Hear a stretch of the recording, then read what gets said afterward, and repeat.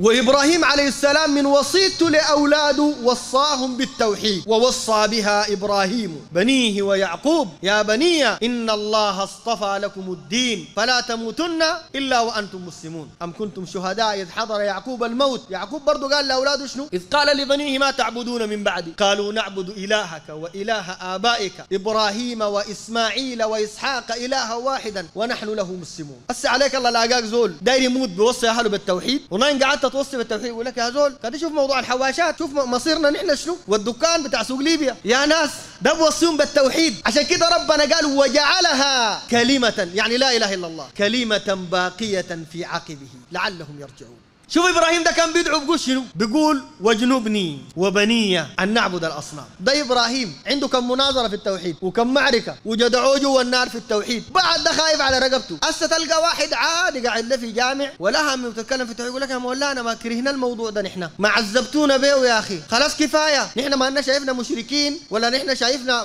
بنعبدنا في صنم، يا شيخنا الموضوع ما كده، الموضوع إنه إنت التوحيد ده راس مالك والشيطان ممكن يخش عليك بأي اتجاه وممكن يضيعك في آخر لحظة. تعرف الشيطان ده ممكن اللي بتلاقيك في الدقيقة 90 يدخل فيك ضربة جزاء. موضوعك انتهى خلاص. والله اللي بتلاقيك في الدقيقة 90 تكون انت ماشي على الموت. يا أخي الشيطان جل الإمام أحمد. خليك من انت الساكن. لا يبقى جاي في القلعة وعدي حياتك كلها تنباك. ده الإمام أحمد. إمام أهل السنة والجماعة. رجل مقياس للعلم وإمام. دار يموت. الشيطان جاو. لقاه بيستغفر وبيشهد. قال يعني ال ال ال الناس اللي بيرووا عنه ولده. قال سمعت أبي يقول.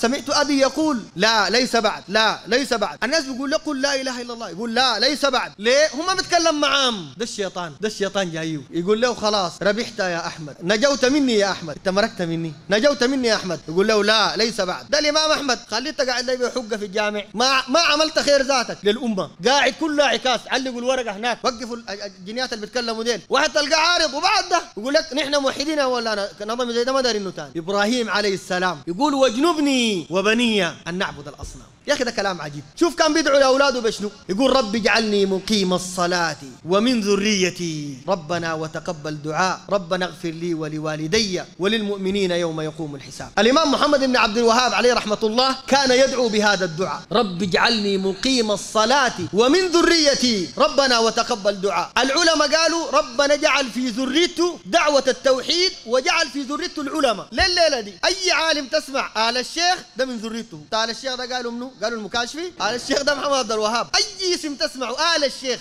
ده محمد عبد الوهاب. رب اجعلني مقيم الصلاة ومن ذريتي ربنا وتقبل دعاء. كان بيدعو بالدعاء.